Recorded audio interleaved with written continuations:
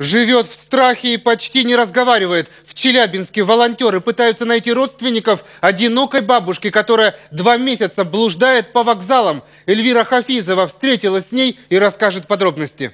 Общественникам удалось лишь узнать, что эту одинокую старушку зовут Валентина. Своего адреса она не помнит. Как стала скитаться, не говорит. Неравнодушным удалось выяснить, у пенсионерки есть брат. Батюшку живут, ну. Зачем вам надо? Зачем?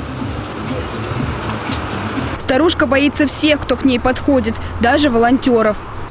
Нашли эту бабушку, попытались с ней поговорить, ничего не получается. С охраной поговорили, чтобы узнать, ну, может быть, она с ними делилась с кем-то. Ни с кем она не делится, она вот замкнута ходит, чего-то постоянно говорит, что она боится. Охранники вокзала утверждают, видят ее каждый день с двумя сумками и в теплом пальто, в 30-градусную жару. Ночует пенсионерка на привокзальной лавочке, а подкармливают старушку пассажиры. Мы пытались это сделать через сотрудников полиции. Они ее, она не потеряшка, она никак. Так что...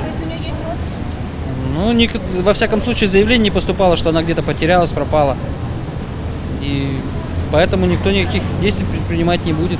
Сейчас волонтеры надеются, что найдутся ее родственники или бабушкой заинтересуется социальная служба. Возможно, пенсионерку заберут в приют.